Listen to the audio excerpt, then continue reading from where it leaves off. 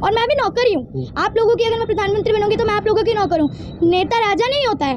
जो भी नेता होता है वो आप सबका गुलाम ही होता है। अगर आप इतना हनुमान जी को परेशान करोगे ना तो देख लो अभी भी लंका जली रही है। कभी हिंदुस्तान भी उसी में चल जाए लेकिन क्या कहें, गोदी मीडिया को तो कुछ कह ही नहीं सकते हैं। मोदी जी ने तो उन्हें गोदी ले रखा है, अनभक्त है वो सारे तो। गोदी मीडिया ही कहेगी, आप आप भी ऐसे हैं क्या? आप लोग भी गोदी मीडिया है सारे तुम अपना थोड़ा दिमाग लगाओ, ये चीज़ होती है सोचने के लिए किससे क्या होगा। तंग आ गए हमारे को एजुकेशन चाहिए हमारे देश को डेवलप करने के लिए। धर्म धर्म, क्या करेंगे हम लोग धर्म करके? आज आपके लिए कुछ सवाल हैं। देश बड़ा या धर्म? अगर देश बड़ा है तो देश के लिए क्या किया? होंगे कि हमारे देश पे धब्बा है कि एक छोटा सा ग्यारह साल का बच्चा एक जहाँ बिहार को जहाँ वो कह रहा है, वो खुद पढ़ाता है और पैसे कमा के लाता है और उसके बाप उसके पैसों से दारू पी लेते हैं। उन्होंने सामने एकदम बिहार के सीएम के सामने कहा है कि आप हमारे को पढ़ाने के हमारे को पढ़ाइए, मेरे को पढ़ना चाहता हूँ और मेरे को आई एस आई बनना है। लेकिन जो हमारे बिहार के सीएम है, वो उस अपनी नाकामी पे हंस रहे हैं, अपनी हार पे हंस रहे हैं, अपने आप पे जो कलंक लगा है उस पर हंस रहे हैं। तो बहुत शर्म की बात है हमारे हिंदुस्तान के लिए, जहाँ हमारा देश सोने की चिड़िया कहा जाता था। अब हमारे देश में एजुकेशन इंडेक्स ऐसे ही कहाँ जा रहा है? नीचे चला गया एकदम। इसलिए तो कहते हैं कि हमारे हिंदुस्तान में इतने गरीब लोग, इसलिए हमारे देश में इतनी गरीबी है। बच्चे ने कहा आपने अभी अभी कहा कि दारू पी जाता है उसका पिताजी। उसी ने वही नीतीश कुमार है जो बिहार में दारू बंद कर रखा है। ये बड़ी बात है कि बिहार में दारू बंद है लेकिन फिर भी वो दारू पी रहे हैं। कहने को तो आप कुछ भी कह दीजिए कि दारू बंद है दिल्ली में कूड़ा नहीं फैलता बिल्कुल भी और चोरी नहीं होती है गुंडा राज मुक्त है लेकिन असलियत में जाके देखें तो वहाँ दारू भी है गुंडा राज भी है यूपी में तो आप कई सारी चीज़ें देख सकते हैं। आपको आप राजनीति को किस नज़रिए से देखती है सही है गलत? मैं राजनीति किसी राजनीति को तो गलत नज़र से देखती हूँ लेकिन राजनीति जिस चीज़ के लिए बनी है वो सही के लिए बनी है। हाँ जो नेता छोटे मोटे नेता हैं उन्होंने गलत कर दिया है लेकिन जो हमारी पॉलिटिक्स है ये हमेशा सच के साथ चलती है लेकिन हाँ जो उसमें नेता है वो गलत के साथ है। लेकिन दुनिया मानती है पॉलिटिक्स एक गंदी चीज़ है। इस पर आपका क्या कहना है? देखिए पॉलिटिक्स गंदी चीज़ नहीं उनके नेता गंदे हैं। हम्म। नेता अग, नेता अपने आप को ज़्यादा देर तक कुर्सी पे बैठने के लिए झूठ पे झूठ बोलते जाते हैं जुमले पे जुमले बोलते जाते हैं। लेकिन पॉलिटिक्स अच्छी चीज़ है। आप लोग राजनीति पे भरोसा करिए नेताओं पे मत करिए राजनीति पे करिए। क्योंकि हमारी जो फंडामेंटल राइट्स है हमारे हमारा अधिकार है हमारा संविधान है ये सब बहुत अच्छे हैं। नेताओं ने गड़बड़ की है। आपने खुद कहा था मैं प्रधानमंत्री बनना चाहती हूँ। जी। तो आप पे लोग के भरोसा क्यों करे आप भी पॉलिटिक्स में आने के बाद आप भी खराब हो? जाइए देखिए कहने को तो कोई भी कुछ भी कह सकता है लेकिन हाँ मैं बहुत कोशिश करूँगी कि मैं झूठ ना बोलूँ और मैं सच के साथ। कोशिश करूँगी यानी पूरा श्योर नहीं है देखिए श्योर तो मैं पूरी हूँ लेकिन मौका एक होता है समय क्या कर देता है कुछ पता नहीं कि मैं बन भी पाऊँ। कह भी सकते हैं कि मैं इतनी कोशिश की मैं और कोशिश करूँगी कि मैं कभी सच झूठ के साथ ना रहूँ सच के साथ ही रहूँ। आजकल जो देश का युवा है किस तरफ़ जा रहा है? देखिए आजकल के युवा धर्म के तरफ़ जा रहे हैं हम्म। रोज़गार उन्हें मिल नहीं रहा है। कभी होता था कि मंदिरों के मीनार तोड़े जाते थे अब हो रहा है कि मुसलमानों के जो मस्जिद है, उनके मीनार तोड़े जा रहे हैं। मैं तो मोदी जी से यही कहूँगी, मोदी जी, मेरे मेरे पास आपके लिए कुछ सवाल हैं। देश बड़ा है या धर्म अगर देश बड़ा है तो देश के लिए क्या किया? महँगाई ख़त्म हुई, बेरोज़गारी ख़त्म हुई, काला धन आया, या फिर धर्म से हमारा दिमाग हटा हम सुबह देखते हैं, हमारे फ़ोन पर धर्म के मैसेज आते हैं, कि गुड मॉर्निंग कृष्ण जी बने आते हैं गुड मॉर्निंग हनुमान जी बने आते हैं, या फिर अगर मुसलमानों की बात की है, अल्लाह आपकी रहमत करे, अल्लाह ये करेगा, अल्लाह वो करेगा, कृष्ण में आता है Jesus praise the Lord praise the अरे हम तंग आ गए हमारे को एजुकेशन चाहिए हमारे देश को डेवलप करने के लिए। धर्म धर्म क्या करेंगे हम लोग धर्म करके? मान लिया कि हमारे धर्म बहुत अच्छे हैं, सारे धर्म अच्छे हैं, भगवान, सबके सबके भगवान एक ही होते हैं, लेकिन हम लोगों ने तो उन्हें बांट रखा है, और बांटा भी क्यों है? भगवान तो एक शक्ति है।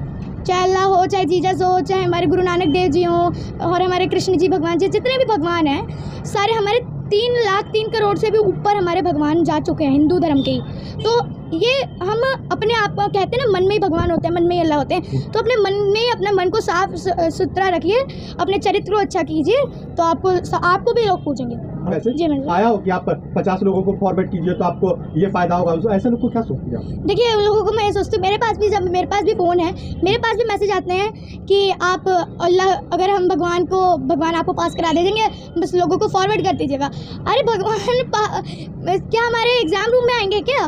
कि पास कराओ भाई भगवान बन के आ जाएँगे टीचर बन के। कि लो भाई पास इसने मेरे व्हाट्सएप के मैसेज को पासवर्ड किया दूसरे लोगों को भेजा तो चलो पास वही इन लोगों को तो मैं यही कहूँगी तुम अपना थोड़ा दिमाग लगाओ ये चीज़ होती है सोचने के लिए किससे क्या होगा। ये नहीं कि लोगों को भक्ति में डाल दो एग्ज़ाम है कोई बात नहीं जागरण में बैठो। नहीं आप उसे पढ़ने दीजिए कुछ पढ़ लिख के वो बच्चा करेगा तो हमारे देश का ही भला होगा। तो वो लोग कैसे फिर? जो फॉरवर्ड करने की बात करते हैं। देखिए उन लोगों को तो क्या ही कहा जाए खुद तो पढ़े नहीं होंगे ढंग से दूसरों को भी नहीं पढ़ने दे रहे। आपको क्या लगता है कि आने वाले फ्यूचर में देश का युवा कहाँ जाएगा? देखिए आने वाले फ्यूचर में देश का युवा धर्म के पीछे भागेगा। जिस तरह से मोदी जी कर रहे हैं नेहरू जी को आप गाली देते हैं इंदिरा जी को आप शब्द बोलते हैं आपने आपने तो इतना कुछ भी नहीं किया है। नेहरू जी ने रेल भेल और हमारी गेल हमारा एयर इंडिया ये सब बनाया भागड़ा नंगल डैम उन्होंने कराया उद्घाटन। आप क्या करा? आपने आज तक क्या किया? हमने आपको ज़िम्मेदारी दी थी। महँगाई महँगाई बढ़ी ना? पेट्रोल बढ़ा? सिलेंडर बढ़ा बिजली का दाम बढ़ा दाल आटा नमक जो भी हमारे सुविधा के लिए थी ये सारी चीज़ें तो बढ़ गई हैं। कहाँ आपका छप्पन इंच का सीना रहा भाई जो आप कहते थे एक के बदले दस सिर लाएँगे? आया एक भी दस सिर? क्या दस सिर है और आप तो मुँह छुपा के और बैठे हैं। वहाँ पाकिस्तान में जाके आप बिरयानी खाते हैं उनसे उनके दरगाह तो डर के बिरयानी खिला रहा है कि चलो मोदी जी को बिरयानी बिरयानी खिलाएँगे तो पाकिस्तान बचा रहेगा ये आप ये सारी गोदी मीडिया ये कहेगी आप आप भी ऐसे हैं क्या? आप लोग भी गोदी मीडिया हैं सारे? पाकिस्तान क्यों डरेगा? वो लेकिन क्या कहें गोदी मीडिया को तो कुछ कह ही नहीं सकते हैं। मोदी जी ने तो उन्हें गोदी ले रखा है अनुभक्त हैं वो सारे तो। जब रवीश कुमार हमारे एक टीवी रिपोर्टर है उनको छोड़ के वो कम से कम सच का सामना तो करते हैं। देखिए एजुकेशन उसके बाद हमारी बेरोजगारी दूसरा तीसरा महँगाई। ये तीन चीज़ें आम आदमी के लिए बहुत ज़रूरी हैं अभी ज़िंदा रहने के लिए। अब वैसे भी news news reporter news reporter कहाँ रहे? अब तो बिजनेसमैन बन गए हैं। कहाँ दो दिन दो दिन तक जो पहले बैठते थे अखबारों में लिखने के लिए कि हम इस लड़की का भला करेंगे न्यूज़ रिपोर्टर है। पहले तो न्यूज़ रिपोर्टर सर्च करते थे ना। अब तो अगर हमारे को इसमें प्रॉफिट हो रहा है तो हम करेंगे वरना हम नहीं करेंगे। ताजमहल के बारे में क्या जानती हैं आप? देखिए ताजमहल मुमताज़ की याद में बनाया गया था। महारानी मुमताज़ की याद में शाहजहाँ ने बनाया था। और एक वो प्यार की एक मंजिल है कि हम उसे देखें और हमारे हिंदुस्तान में बहुत गर्व की बात है कि हमारे देश में ताजमहल तो ताजमहल फिर कैसे हो रहा है? देखिए इस पे तो यही राज वाले लोग कहते हैं हमारे पास पेपर है आप आइए हमारे देखिए ताजमहल हमारा। भाई उस जन्म में भी क्या पेपर होते थे?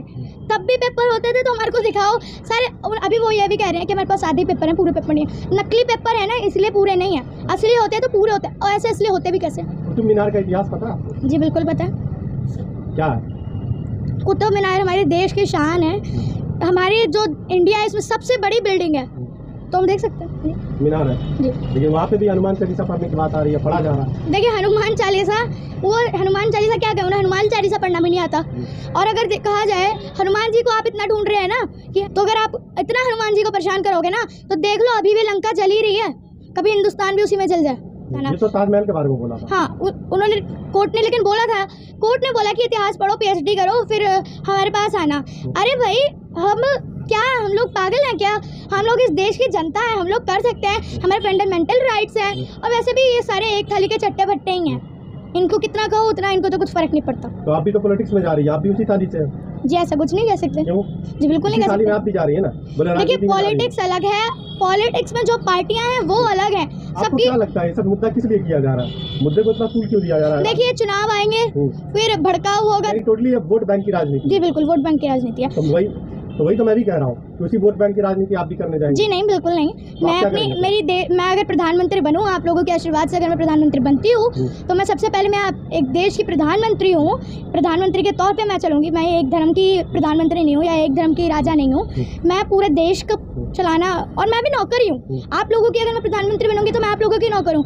नेता राजा नहीं होता है। हम्म। जो भी नेता होता है वो आप सबका गुलाम ही होता है। आप लोगों ने ही चुना है। मेरे को भी आप चुनेंगे तो मैं भी आपकी गुलाम हूँ। आप मुझे बोलेंगे तो मेरे को वही काम करना पड़ेगा जो आपने किया है। आप जो कहेंगे वही काम मैं करूँगी। आपके दो समुदाय का बोला है इसके बीच में कोई झड़प हो जाती है। आप प्रधानमंत्री है किसी एक साइड जाना होता है। जी नहीं मैं फ़ायदे के लिए। मैं क्या करना चाहिए?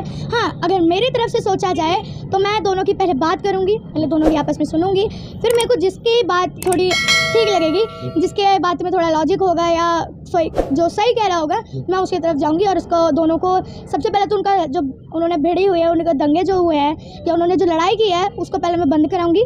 दोनों को सुनूँगी और फिर मैं विचार तो करूँगी एक पक्ष आपसे नाराज़ हो जाएगा ना? क्यों नाराज़ हो गए? जब मैं दोनों की बात सुन रही हूँ। ये भी बोल रहा हूँ ना कि एक पक्ष की तरफ़ जाएँगे तो दूसरा पक्ष तो मैं तो दोनों की बात मैं दोनों की तरफ़ जाऊँगी क्यों? मैं पहले खुद विचार करूँगी कि फिर पहले दोनों की बात सुनूँगी फिर दोनों के देखूँगी और फिर अपने आप को देखूँगी कि तो मेरे की बात उनकी तारीफ़ करती है। मैं तारीफ़ करना अलग बात है रोल मॉडल अलग बात होती है। तारीफ़ तो मैं ऐसे करती हूँ मैं तो मोदी जी की भी तारीफ़ करती हूँ ऐसे कल को तो आप मोदी जी को और केजरीवाल जी को। दोनों में से कोई एक को चुनना पड़ेगा आपके हिसाब से दोनों में से कौन अच्छा पॉलिटिशियन है? केजरीवाल जी अच्छे पॉलिटिशियन है। तो फ़र्क हो गया ना आप रोल मॉडल मानती है ना। रोल? मॉडल अलग होता है। रोल मॉडल अलग होता है और पॉलिटिशियन अलग होते हैं। मुझे उनकी राजनीति अच्छी लगती है इसलिए मैं उन्हें पसंद करती हूँ वरना वो मेरे रोल मॉडल नहीं है। हम्म, और मैंने आज तक कहा भी नहीं है मेरे रोल मॉडल इंदिरा गांधी जी हैं। हम्म। मेरे को मैंने वो अलग बात है कि मैं केजरीवाल जी की तारीफ़ करती हूँ लेकिन मेरे रोल मॉडल नहीं है वो।